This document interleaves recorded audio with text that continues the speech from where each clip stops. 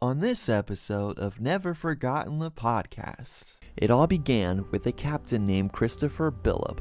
After serving the Royal Navy, he came to America in 1674. He was granted 932 acres on the southernmost tip of Staten Island.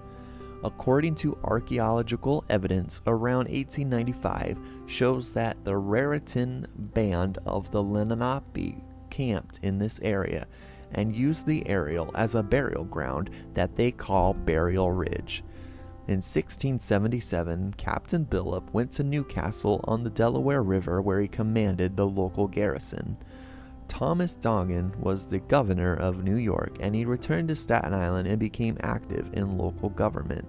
He then stretched the property of the Conference House Park to 1,600 acres.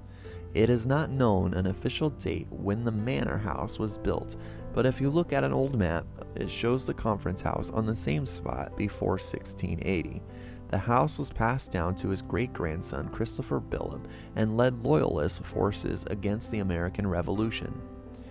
On September 11, 1776, Captain Billop hosted an informal diplomatic conference aimed at finding an early end of the American Revolution. Lord Howe, who was a commander in chief for the British, arranged to meet with what is known today as the Staten Island Peace Conference, alongside Benjamin Franklin, John Adams, and a gentleman named Edward Rutledge. They rode over from the Patriot held Perth Amboy, New Jersey. The meeting was documented that it lasted for three hours and it ended with the Americans declining the diplomatically handcuffed Howe's offer, leading to another seven years of conflict. Originally, it was called Billopps Point.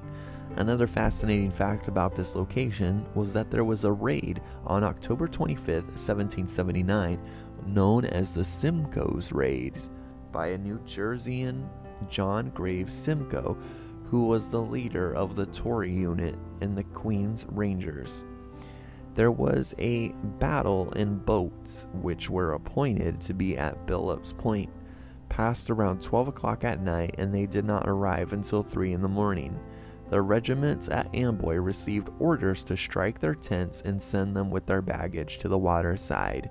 Those on the Staten Island side had orders to leave their standings and be completed by 8 in the evening to Billopps Point. After the seize of the hostiles and British withdrawal from their former colonies, the house was confiscated by the state of New York. There was no compensation to any of the Billop family, but later they received some form of compensation from the British government. After the Revolutionary War, most of the Billop family had relocated up to north to Canada. 100 years after the conference house was used as a hotel and a rat poison factory, it was abandoned and vandalized. In 1901, Assemblyman Van Name from Richmond County introduced a bill to require the house and create it for historic preservation. New York City had acquired the home in 1926, and the home was refurbished in 1937 and became a National Historic Landmark in 1966. The home offers many events throughout the year and is available for tours via appointment.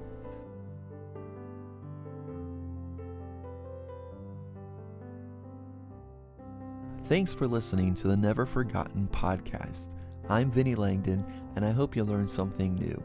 And also, be sure to subscribe to the Vinnie Langdon Show YouTube channel for more historical videos and lessons about the forgotten borough, Staten Island.